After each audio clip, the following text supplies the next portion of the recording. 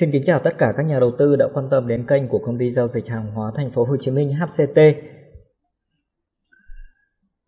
Trong clip hướng dẫn lần trước thì tôi đã hướng dẫn các anh chị các cài đặt cơ bản để làm quen với nền tảng giao dịch CPG. Trong đó có một phần mà các nhà đầu tư đang cảm thấy hơi rắc rối và khó hiểu, đó chính là tìm kiếm mã hàng hóa để thêm vào trong bảng giá.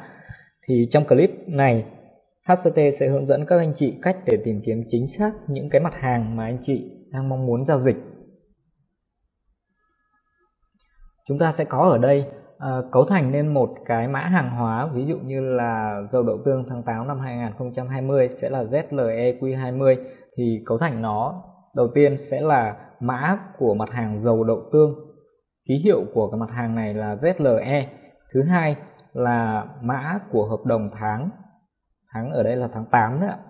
Mã của hợp đồng giao dịch tháng 8 là Q và mã của năm là 20 như vậy thì nguyên cái mã hợp đồng giao dịch này là ZLEQ20 là mô tả cho cái hợp đồng dầu đậu tương tháng 8 năm 2020. Tương tự với lại ZWAU20 thì đây là mã của mặt hàng ZWA là lúa mì, à, U là hợp đồng tháng 9 và 20 là ký hiệu của năm 2020. À, như vậy thì chúng ta có ZWAU20 là mã của hợp đồng lúa mì tháng 9 năm 2020 à, thì tương tự như vậy đối với tất cả các cái mặt hàng khác mà sở giao dịch hàng hóa Việt Nam đang uh, giao dịch thì anh chị có thể là dễ dàng tìm kiếm chính xác được uh, cái mặt hàng và cái hợp đồng mà mình muốn giao dịch. Tôi sẽ để một cái file đầy đủ tất cả những cái mặt hàng này và cũng như là những cái ký hiệu về tháng và năm ở trong phần mô tả của clip này. Quay trở lại áp dụng vào nền tảng CQG Desktop à, thì à, khi chúng ta muốn thêm mới hoặc là thay thế một cái sản phẩm nào đấy thì chúng ta sẽ click chuột phải vào tên của một sản phẩm đang à, hiện có sẵn ở đây và chúng ta chọn thêm mới hoặc là thay thế. Ở đây thì tôi sẽ chọn thêm mới với cái mã mặt hàng là lúa mì. Như chúng ta nhìn đây à, lúa mì là ZWA và chúng ta sẽ tìm mặt hàng lúa mì tháng 10 chúng ta sẽ, thử tìm mặt hàng lúa mì. Lúa mì tháng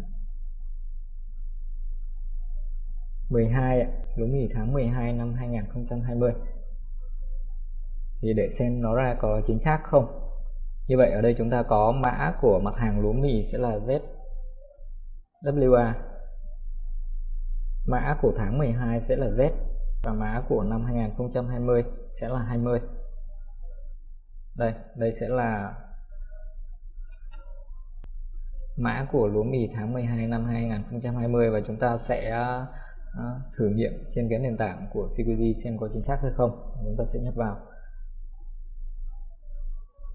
Z. W. A. Z. 20 chúng ta click OK.